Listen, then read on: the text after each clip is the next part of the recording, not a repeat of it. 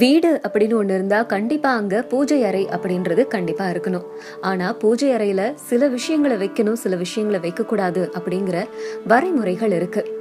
வீட்டில் சில திருவுருவங்களை அதாவது தெய்வ சிலைகளை வைக்கக்கூடாது அப்படின்னு சொல்லுவாங்க. எந்த மாதிரியான தெய்வங்களுடைய சிலைகளை வைக்கக்கூடாது எதுக்காக அதை வைக்கக்கூடாது அப்படிங்கிறது தான் இன்னைக்கு நாம பார்க்க போறோம். ஒவ்வொருத்தவங்களோட வீட்லேயும் தெய்வ சிலைகள் இருக்கும் படங்களும் இருக்கும். ஆனால் வீட்டில் தெய்வ சிலைகள் மற்றும் படங்களை வைக்கும்போது ரொம்பவும் கவனமாக இருக்கணும்.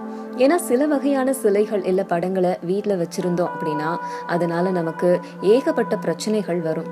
அதனால என்ன மாதிரியான படங்கள் வச்சுக்கலாம் என்ன மாதிரியான படங்கள் வைக்கக்கூடாது எந்த சிலைகளை வைக்கலாம் எந்த சிலைகளை வைக்கக்கூடாது அப்படிங்கிறத தெளிவாக இப்போ நாம் பார்க்க போகிறோம் ருத்ர வடிவம்.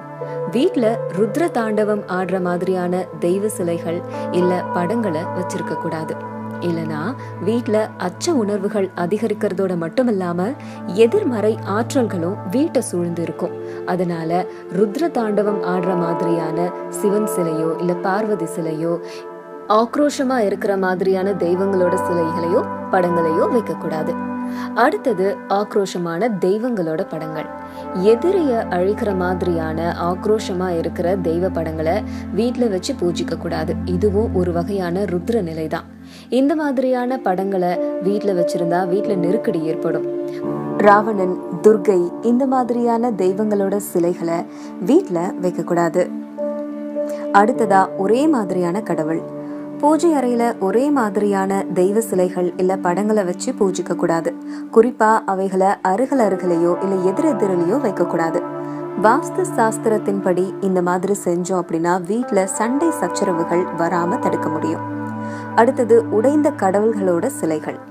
வீட்டு பூஜை அறையில உடைந்த தெய்வ சிலைகள் இல்ல கிழிந்த படங்களை வச்சிருக்கவே கூடாது.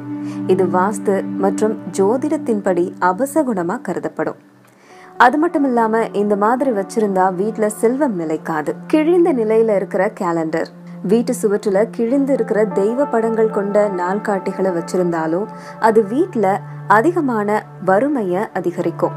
அதனால கிழிந்த நிலையிலயோ இல்ல உடைந்த நிலையிலயோ தெய்வங்களோட சிலைகளையோ படங்களையோ வீட்டுல வச்சிருந்தாக்கா அதனால நமக்கு பாதிப்புகளும் குறைகளும் தான் மாறி மாறி வரும்.